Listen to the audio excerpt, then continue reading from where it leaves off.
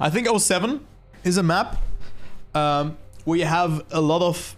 I struggled with this map a lot, actually, when I played it.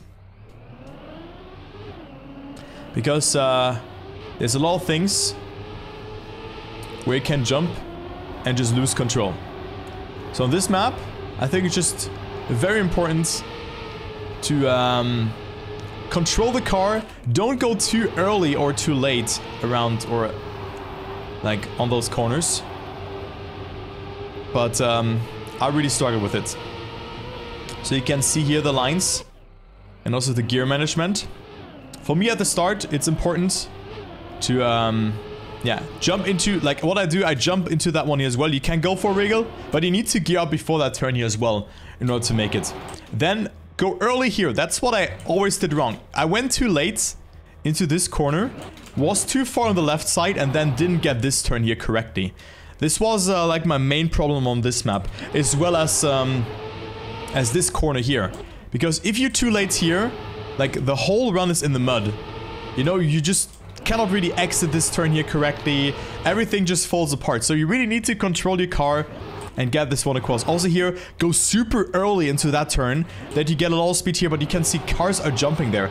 It is not easy to do that one, but uh, I think for AT hunting, what's really important on this map is that you don't bounce and don't bump and get that early fourth gear on this map. Like uh, here, this gear is super important. And then just stay early here, don't catch too much airtime there. Get a smooth transition there. Don't go too early to the left. And uh, just steer to the right here and trust yourself in this way. Because uh, you can also bounce here on the left and right side. But if you get it correctly, you will not. You can see here, you can bounce there and you can also bounce here. And then you will just get dragged in. But you will bounce every here and there. But uh, the most important corner is actually this one here. This one is very important because this sets you up. Like you want to be super far on the left side here. Because this determines all your speed for the ending. You can see how far left they're going here.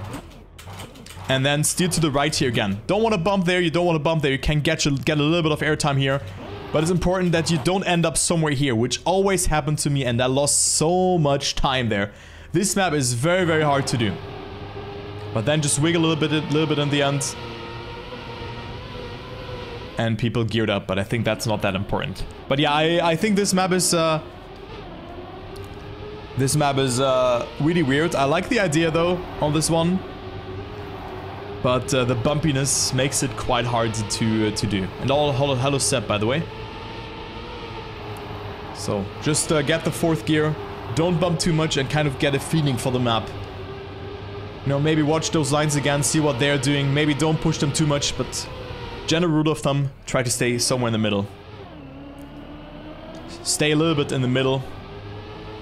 And then it should be alright. The wiggle is not required. And don't catch too much airtime there. Of course, careful steering. Don't oversteer. Don't lose that fourth gear that you need to hold up until the ending.